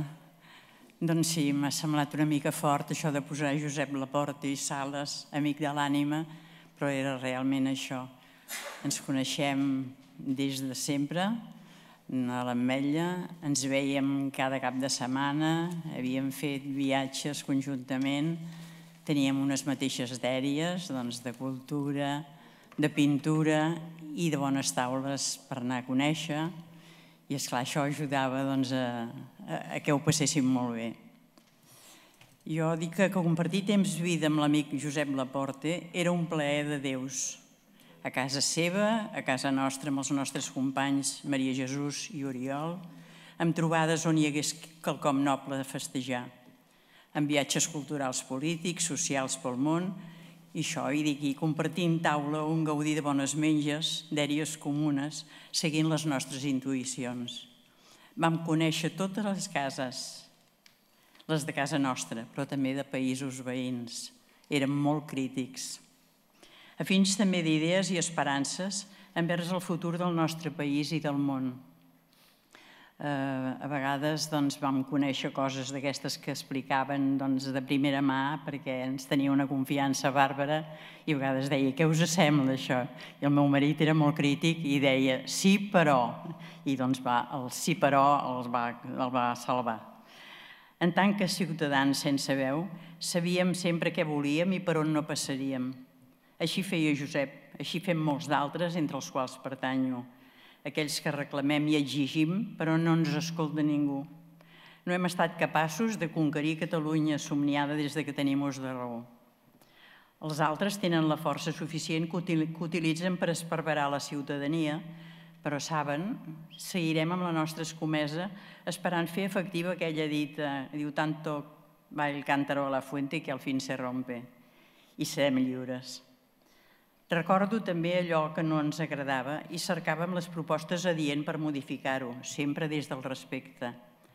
Nosaltres, en tant que veu ciutadana crítica, el Josep, darrerament des del govern, ens escoltava i intentava fer el possible per a dur-les a terme. Malauradament, molts dels que tenen autoritat fan figa per por de perdre prebendes. Ens reservo noms de tots prou coneguts. Josep Laporte va ser amic de vida, d'aquells que mai fallen ni en la tristor ni en l'alegria. Van passar proves comunes, mort de sers estimats, entre els quals fills i parelles. Parlàvem també de temps passats, quan el franquisme ens volia muts, però no callàvem. Com tants d'altres, vam ser nuclis de protesta a la clandestinitat quan, parlant de segons què, podia costar-te la llibertat. Mai ens vam deixar manegar ni engolir. Va fer bona feina mèdica, política, social, a partir de la seva eficiència i bonomia. Mai va callar quan quelcom no li agradava dels que manaven. Érem, en certa manera, l'esca del pecat. Mai ens amagàvem. Clamàvem per allò que volíem i seguíem volent exigint, encara avui, segle XXI, una Catalunya lliure i en pau. El Josep gaudia de les coses senzilles, sense embalums. No acceptava les mentides, Creia i confiava en la paraula, eina indispensable per aconseguir la veritat sense enganys, avui tan sovintejats per part dels governs del món que, com sempre, un cop tenen el poder se'ls encomana la cobdícia i traeixen àdhuc alguns d'aquells amb els quals havíem confiat. Des d'aquí, prometo, Josep, que seguirem lluitant de la mà de la paraula, la nostra arma atòmica poderosa, la única que resisteix el pas del temps, modes i vicissituds.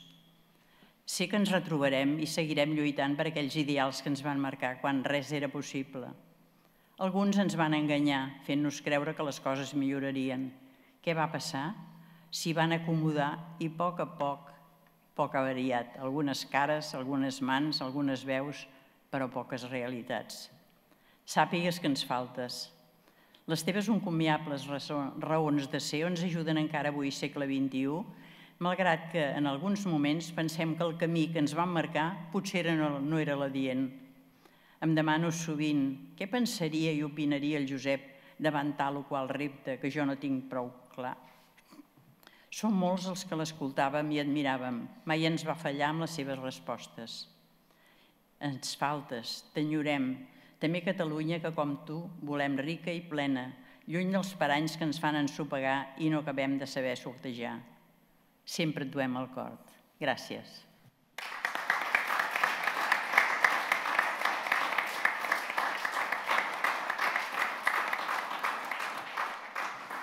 Moltes gràcies. Acaba aquí eh, aquesta ronda i ara clourà l'acte la presidenta de l'Institut i el president de la Real Acadèmia. Doncs ara, si us sembla, a moda de cloenda, i atès que no hem pogut, no hem pogut tenir el doctor Bombí a la inauguració, ho farem de la manera següent. Jo faré unes paraules, que és el que m'havien encomanat, sobre la relació de Josep Laporta amb l'Institut d'Estudis Catalans i després la cloenda pròpiament dita, a part de les paraules que pugui pronunciar, jo la cedeixo al, al meu col·lega i amic Josep Bombí, que és el president de la Reial Acadèmia de Medicina, perquè aquest acte l'hem convocat i l'hem organitzat tots dos plegats. Eh? Aviam, què puc dir jo del doctor Laporte? Avui celebrem aquest homenatge d'un membre que fou de la secció de Ciències Biològiques de l'Institut, com ja s'ha dit, i president de l'Institut d'Estudis Catalans del 2002 al 2005, perquè la fem perquè és el centenari del seu naixement. I com eh, s'ha dit ja en la taula anterior, si les autoritats o els poders públics, eh, l'administració no s'ha recordat que era el centenari del doctor Laporte, és veritat que aquelles institucions que ell va presidir, de les quals va participar, sí que volíem recordar aquest centenari. La meva intervenció no es basa en, en la coneixença del doctor Laporte de manera personal, tot i que vam compartir 15 anys, tots dos, sent tots dos membres de l'institut, però eren els anys en què la Porta es dedicava molt a la política. Després, de totes maneres, vaig coincidir també quan va ser president de l'institut, però jo pertanyia a la secció filològica, ell pertanyia en una altra secció i no, no, no, fora de l'aspecte o la relació formal que podien tenir dos membres de la casa, jo no hi vaig tenir cap intimitat més.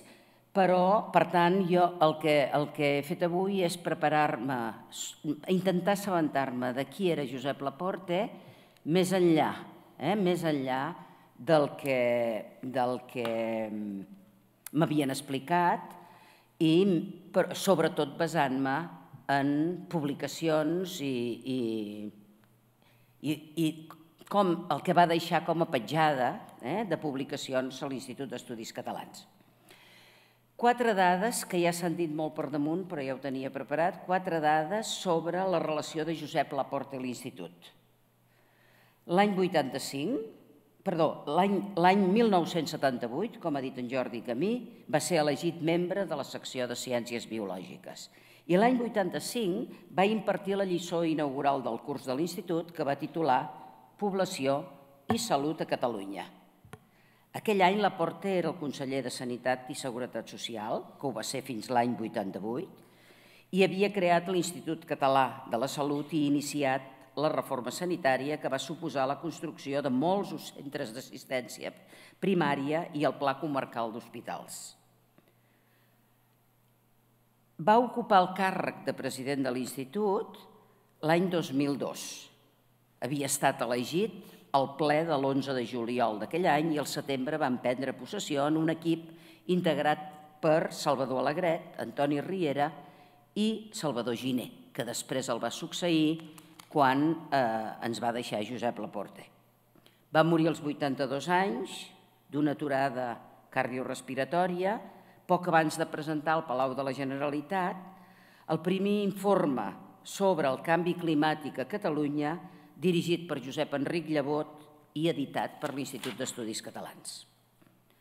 Durant el seu període com a president de l'Institut, va emetre dues declaracions de notable rellevància – D'una banda, l'ús social de la llengua catalana i d'altra banda, perspectives dintre del llibre Perspectives del segle XXI, Recerca i País. Es van publicar l'any 2004. I, llegint o repaisant dos llibrets, m'he adonat de la gran actualitat del pensament de Josep Laporte. Les dues són declaracions que fan una sèrie de consideracions preliminars sobre el terreny, la llengua o bé la recerca, que fan un diagnòstic de la situació, que tracten alguns punts destacats sobre el tema i acaben amb unes conclusions, però van una mica més enllà. I és una cosa que he trobat formidable. Fan recomanacions al govern. Sobretot la de recerca. La de recerca acaba amb una sèrie, que ara no recordo de quantes recomanacions, en què l'institut que ell presidia s'adreça al govern i diu cal fer això en recerca, cal fer això, cal pensar les coses d'aquesta manera, etc. I en el cas de l'ús social de la llengua també fa el mateix, però una mica diferent. En aquest cas sempre diu recorda que, demana que o reclama que es faci totes coses. Són dos informes excel·lents que ara no tenim temps de llegir perquè ens hem passat una mica de l'hora, però només perquè en vegeu la, Només perquè en vegeu l'actualitat, per exemple, ell diu coses com, en el cas de la recerca, per exemple, no? Que després s'ha seguit, s'han seguit aquestes recomanacions amb molts matisos, s'han aplicat de manera diferent, però ja eren aquí, ja s'havien dit en aquest moment. Per exemple, diu, diu Josep, diu, perdó, diu l'informe de l'Institut, en les recomanacions, Cal implantar una política dirigida a les universitats perquè el tercer cicle, i molt especialment els estudis de doctorat, que són els relacionats indistingibles de l'activitat investigadora, guanyin qualitat i tingui l'alt reconeixement de la significació institucional per part de les mateixes universitats, que ara clarament no té. També cal prendre les mesures oportunes de promoció per aconseguir la internacionalització del tercer cicle. Observeu que això era pioner eh? perquè això es va publicar l'any, es va escriure l'any 2002 i ara, en aquest moment, són, eh, so, eh, formen part de les activitats o de les accions que duen a terme totes les universitats, no es posa en qüestió. O cal un increment del nombre d'investigadors en la xarxa catalana de recerca, que hauria de doblar el nombre, el nombre actual. Això va en consonància amb el que deia, que per ell la recerca era un dels àmbits clau, un dels àmbits estratègics de millora d'un país. Tant en l'àmbit públic, centres de recerca i centres d'ensenyament superior, com en l'àmbit empresarial, recomanava ja la col·laboració amb l'empresa. Cal establir, i això encara anem una mica mancats, una carrera professional de l'investigador que combini l'avaluació continuada, el manteniment de la competitivitat i l'excel·lència amb l'estabilitat laboral. Penseu que aquesta encara és una cosa que ens falta d'acabar de quallar. Era molt respectuós amb els àmbits de ciències humanes i socials. Dius, la recerca en ciències humanes i socials, i especialment la producció en aquest àmbit, és un element essencial en el desenvolupament i la consolidació dels pobles i els països. La recerca en les ciències socials i les humanitats ha esdevingut actualment un objecte d'interès particular, però no només perquè és la base de la consciència dels pobles, sinó també perquè els seus resultats tenen efectes directes en el desenvolupament sociocultural econòmic i de tot ordre perquè contribueixen decisivament a l'eficiència de l'organització social. I sobre l'Institut ja deia L'Institut d'Estudis Catalans pot tenir un paper significatiu tant en la recerca pròpiament dita com en els programes d'observació i avaluació de la recerca, en el seguiment dels resultats de les iniciatives proposades per a la promoció de la recerca i molt especialment en la difusió i promoció social de la ciència i la investigació. S'han de, de promoure i estendre els resultats de la ciència a totes les societats, intensificant les activitats, sobretot, de difusió científica. És a dir, són afirmacions, eh? són, són expressions tan, tan, tan d'actualitat que avui les subscriuríem exactament, exactament de la mateixa manera. També ho fa respecte de la llengua, però no tinc temps de llegir-ho, però deixeu-me alguna cosa, alguna, perquè en la part de conclusions i recomanacions diu perquè també és un tema d'actualitat, precisament en aquest moment, en què ens hem adonat que no anàvem tan bé com ens semblava. Però no, ja ens havíem adonat d'això. El tema és que no s'havia posat damunt de la taula, però ja ens havíem fa molt de temps que això es va arrossegant. I diu, l'Institut convida la ciutadania a prendre consciència de les dimensions del problema i de les seves arrels, a reforçar el consens social entorn de la necessitat d'impulsar l'autoestima i la consideració social de la nostra llengua tant en la vida pública com en la privada, a protagonitzar aquest procés i a reclamar-lo a les institucions del país. Parla de la importància, em sap greu que no hi hagi la secretària general de la Conselleria d'Universitats, perquè ja en aquell moment diu la gran responsabilitat que tenen les nostres universitats en la defensa de l'ús del català, no solament en relació amb el fet que sigui emprat a les aules, sinó també pel que fa a la seva presència en les publicacions que es generen dins dels departaments i és especialment greu la manca d'atenció a les publicacions acadèmiques en català a l'hora d'avaluar currículums professionals. És un altre pendent que hem de matisar i per això el Departament d'Universitats en aquest moment ha posat en marxa el Pla d'Enfortiment de la Llengua Catalana en la docència i recerca, i recerca universitàries. Eh, Llegeixis el que llegeixis, les lluances al doctor Laporte són sempre constants. Avui s'han dit a la taula. A mi em va fer molta gràcia llegir el paràgraf de la carta que va llegir en Joan Ramon l'homenatge que se li va fer anteriorment, perquè deia, només en diré uns quants d'adjectius, però deia atent, respectuós, amb exquisida prudència i habilitat, d'estil inimitable, de maneres elegants i educades, tolerant, amb habilitat relacional, bla, bla, bla, bla, bla, bla. Un professor recordat per les seves presentacions consistents, ordenades i ben estructurades. I m'ha fet molta gràcia, diu, cap crítica.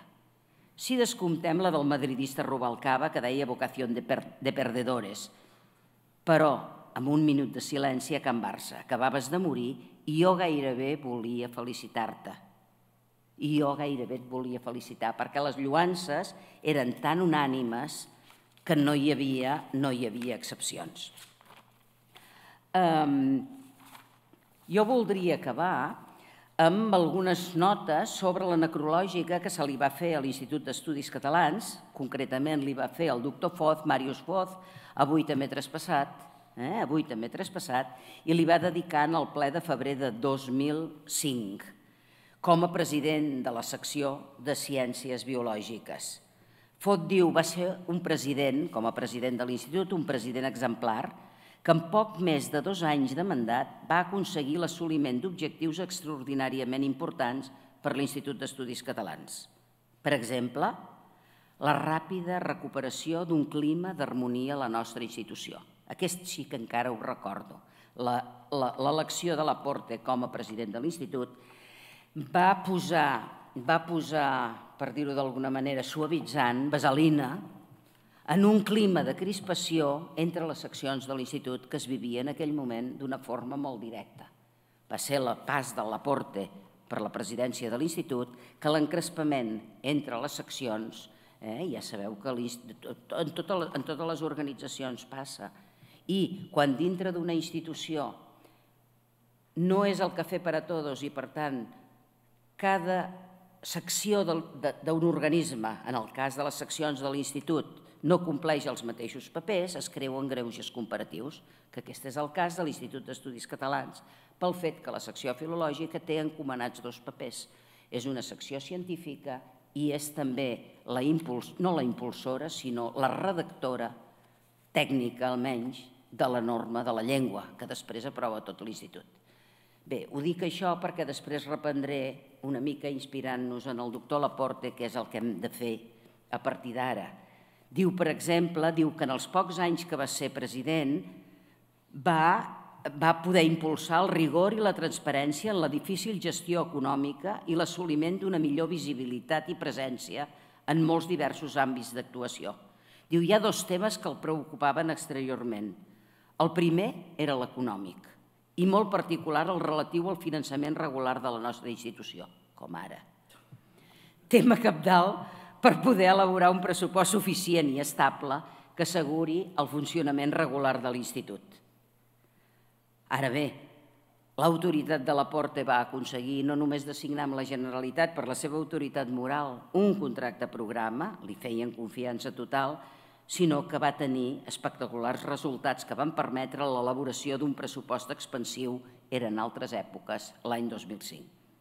La segona preocupació era la llengua, el seu ús social i la seva unitat, i també va ser durant el seu mandat que eh, hi va haver la declaració per unanimitat de l'Acadèmia Valenciana de la Llengua acceptant la unitat lingüística. I cal recordar en aquest àmbit la prudència i habilitat amb què el president Laporte va conduir les relacions amb l'esmentada acadèmia, sempre amb estreta col·laboració i l'acord de la secció filològica. Fixeu-vos, doncs, que ens trobem ara amb una encreuada, eh, amb una mena de cruïlla, en què l'Institut eh, eh, en, que ha iniciat un mandat d'un nou equip al setembre de l'any passat, de l'any 21, ens trobem també amb, en el moment en què tenim un dèficit econòmic o teníem un dèficit econòmic i a més a més ens preocupa no només la llengua, no només l'estat de la llengua que ens preocupa, sinó també les nostres relacions amb el que és el territori catalanoparlant que és important, importantíssim per sumar esforços i no per restar-ne. Aleshores, des de la presidència de l'Institut i en nom de tot l'equip que treballem, que impulsem aquest nou mandat i amb la complicitat dels presidents de les cinc seccions de l'Institut que hi volen contribuir, hem intentat seguir allò que ja havia fet el doctor Laporte. En primer lloc, pal·liar, per dir-ho d'alguna manera, resoldre els dèficits econòmics sobre la base no només de la consecució de nous fons, que també, sinó de la diversificació de fons de finançament, no confiant només en el que són els poders públics i també amb la selecció molt acurada de què s'ha de fer en un organisme com aquest. Per exemple, en el camp de la recerca, jo penso que és bo que hàgim renunciat a competir amb les universitats, perquè l'Institut en Recerca no pot competir amb les universitats, sinó en tot cas ha de fer recerca que vagi lligada en una noció de catalanística, per tant, en la millora i benefici del que és el territori catalanoparlant i dels objectes que són propis d'aquest territori, que també tenen des d'aquesta perspectiva local la seva universalitat. Per tant, és des d'aquesta perspectiva que volem seguir aquest, aquest, aquest exemple i, de fet, puc dir que ja hem aconseguit d'equilibrar eh, absolutament el pressupost i començar l'any 23 sense cap dèficit. Aprovar uns pressupostos el 22 sense cap dèficit. I la segona, la llengua catalana. Hem d'aconseguir que no hi hagi dues normatives de la llengua, sinó que si la llengua catalana és una, ens puguem identificar tots els parlants en una mateixa normativa. Això significa molta diplomàcia, moltes, moltes accions i, molt, i molta conversa, molt diàleg, des de l'empatia i no des de la supèrbia o des de la, de la prepotència ni la, ni la, ni la per dir-ho d'alguna manera, la posició jeràrquica, una entesa amb el que són els altres organismes que ens agradin o no s'han creat en altres territoris per encarregar-se de la part de llengua relativa en aquest territori. I és en aquest sentit que iniciarem, i penso que el doctor Laporte estaria content d'això, un projecte, ja està definit, eh? un projecte de diccionari pan en català, normatiu, fet col·laborativament amb els organismes de Balears, que és la universitat, i els organismes del País Valencià, que és l'Acadèmia Valenciana de la Llengua, un diccionari que integri com a estàndard no només les veus que es donaven, que convergien en dos dialectes grans, sinó també totes aquelles paraules que en un dels dialectes tenen prestigi o són solució, solució única. Què significa això? Haver eixamplat la noció del que és català estàndard més enllà del que havia estat habitual a l'institut, que era la convergència almenys en dos dialectes. I això és el que ens permetria de trobar-nos en aquest espai ampli que en diem de pancatalanitat i de disposar d'eines normatives que ens guien no només els catalans de Catalunya, sinó els catalans de, del País Valencià i de les Illes Balears. I aquest és el que ens agradaria de poder aprofitar del missatge que hem llegit en aquestes dues recomanacions, en aquests dos opuscles, del pas que va deixar el doctor Laporte a l'Institut d'Estudis Catalans. Jo penso que és un èxit que hàgim pogut, hàgim pogut fer aquest acte i ens hàgim pogut reconèixer aquells que vau col·laborar tan estretament amb el doctor Laporta i ens heu explicat moltes coses que no coneixíem amb els membres de l'institut, que l'hem conegut de lluny, més de lluny o més de prop. Ara la gran majoria n'hi ha alguns de prop encara. Eh? M'estic mirant, per exemple, el Josep Amat. Ha alguns de prop, però la gran majoria de nosaltres ja el vam conèixer de lluny, o alguns fins i tot, també veig les cares, que no l'han conegut mai, mai ja com a membre de l'institut.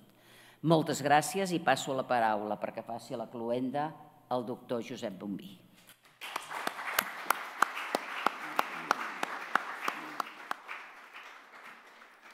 Doncs molt bé, bona tarda, benvolguda presidenta i veïna aquí davant. Moltes gràcies per invitar a la Real Acadèmia i en aquest cas a mi a fer la cluenda d'aquest acte. És un honor personal i també institucional. Eh? salutacions als membres d'aquesta taula allargada que, hem vist abans i a la família del doctor Laporte. Hi ha, jo, hi ha una cosa que sí que volia comentar, més que res per el que diré després, és que eh, ell també exercia de reusenc, i això no ho he sentit, no sé si el Jordi que a mi potser ho has dit o no abans, perquè m'he arribat... Exercia de reusenc i ho dic perquè a mitjans de juny se li fa un homenatge també a Reus, eh, que participa a l'Acadèmia de Ciències Mèdiques, la Real Acadèmia i, i altres membres, eh, també, per tant, només cal això d'aquí. Com veieu, doncs, tothom que eh, ha tingut un contacte amb el doctor Laporte o les persones que, que van treballar amb ell en expliquen, ho explica, parlen molt bé. I això no, no és habitual, eh? no és habitual ni amb les autoritats, ni és habitual amb els polítics, ni és habitual pràcticament amb ningú. Hi ha molt poques persones que tinguin aquesta unanimitat, no? de persones que han, fet, que han fet feina que han fet feina ben feta i que han fet feina pel país. I això és una cosa rara. I, i, i a mi em pertoca potser una miqueta recordar dues visions que també va fer feina. A l'Acadèmia de Ciències Mèdiques, de la que avui no parlaré perquè perquè no, no, no tenia preparada aquesta part. I sí que parlaré de la visió que va fer a la Real Acadèmia de Ciències d'aquí de, de Medicina de Catalunya, en la qual sí que va fer coses molt importants com arreu, eh? com, com arreu. Eh? Per tant, i eh, aquesta part més, més acadèmica, també voldria avançar-los que eh, havíem comentat amb el, amb el doctor Trias, com a coordinador també d'aquestes activitats, que al mes d'octubre doncs, farem una sessió d'homenatge de la versió acadèmica, Acadèmia de Ciències Mèdiques de la Salut i de Catalunya i Balears, Institut d'Estudis eh, d'aquí catalans i Real Acadèmia de Medicina de Catalunya i si algú més s'hi vol apuntar, doncs també encantats. No? Per tant, no, no els repetiré gaires coses també perquè si no cada vegada anem, ja, ja m'ho sentiran dir més endavant alguna altra vegada. Eh? Quina cosa jo voldria resumir de la Real Acadèmia què va fer? Doncs va, jo diria que va fer el canvi d'alguna manera a, una actualització aquestes acadèmies ens costa molt, ens costa molt eh, posar-les una miqueta eh, al dia, no? i ell va fer diverses coses importants. Primer, pel tema econòmic, tema, tema de tota la vida, de totes les acadèmies, actualment eh, potser més greu perquè tenim crisi econòmica i perquè tot, tot aquest tema va molt malament. I llavors què van fer? Van crear una cosa que ha sigut bàsica per la Real Acadèmia, que és la Fundació Pere Virgili. Fundació Pere Virgili, que es va crear a l'any 70, no, es va crear a l'any, va entrar al 93, devia ser l'any 95-96 que es va crear, i, i no només va ser la creació de la Fundació, sinó que va ser la capacitat d'aconseguir que persones eh, importants del món de la farmàcia i de la indústria hi participessin, perquè tu pots crear una fundació, però si no hi ha un suport econòmic al costat, això no funciona gaire bé. Eh? Per tant, aquesta va ser una fase important. Un altre tema important que va fer és que amb aquests diners i també amb el seu prestigi nacional que tenia i, i també en connexió amb Madrid, perquè en aquella època la delegada del govern era la senyora Júlia García Valdecasas, doncs també van aconseguir una part important per fer les obres de rehabilitació de la Real Acadèmia, una part, eh, perquè obres de rehabilitació d'aquests centres duren tota la vida i duraran tota la vida. Eh? Per tant, però va ser una de les rehabilitacions més importants i es va aconseguir fer, després de moltes crítiques, un, un ascensor, que en realitat, si tu mires estèticament arquitectònicament, és, és un bunyol al mig de l'entrada, però que és l'únic lloc on es podia fer d'una manera, manera arreglada i, i que fes un servei. No? Per tant, són coses que no van ser fàcils, eh? perquè quan estàs dirigint aquests centres, tu veus que pots tenir idees, però el que tens de seguida són gent que està en contra. No? I, I jo sé que eh, amb totes aquestes coses hi va haver-hi haver, hi opinions en contra, però ja van ser absolutament positives. Un, un altre tema que va fer l'Acadèmia de Ciències Mèdiques també és impulsar la catalanitat estem parlant, ell va entrar, ell va entrar a la Real Acadèmia de Medicina l'any 78 com a acadèmic numerari i va ser president l'any va ser escollit president el 93 quan el doctor Brogi que portava no sé si 10 o 12 anys de president va plegar, va considerar que ja n'hi havia prou i em sembla bé. Llavors ell va presentar l'únic, eh, va, va semblar que la persona més adequada era ell, que en aquell moment, l'any 93, era, era, era, no, devia ser comissionat, em sembla, en aquella època, devia ser, o, o conseller d'Educació, una cosa d'aquestes. Eh? Per tant, però a pesar d'aquesta activitat política molt important, ell va, va, va agafar la, la, aquesta presidència i va impulsar la catalinitat. Eh? En l'any 93 estàvem començant i ell va estimular, va canviar la revista, la revista de la, una de les revistes de la Acadèmica, pràcticament la major part dels treballs es feien en castellà, ell va pràcticament exigir que tot es fes en català i que, a més, la major part de les sessions es fessin en català. Per tant, penso que aquests són trets fonamentals. Eh? A més, va fer obres a baix al dipòsit per conservar tots els manuscrits de l'any de fa més de 250 anys i temes d'aquestos, però em sembla que tampoc és qüestió ara d'explicar-los de, de, massa cosa d'aquesta, perquè com a cluenda jo crec que, que el més important és recollir que és una de les persones que tothom recorda com un dels, com, un, com diria el Josep Pla, com un dels homenats importants d'aquest país. Eh? Per la seva tasca científica, per una banda, política, per l'altra banda, i també acadèmica i altruista, eh? d'alguna manera, per l'altra banda. Per tant, penso que pel nostre país és, una, és un llegat importantíssim que tenim i un exemple importantíssim que tenim el doctor Josep Laporte, eh, que hagi sigut tantes coses a casa nostra i que hagi fet aquesta feina tan important. Amb això d'aquí, doncs, moltes gràcies, presidenta, moltes gràcies a tots vostès.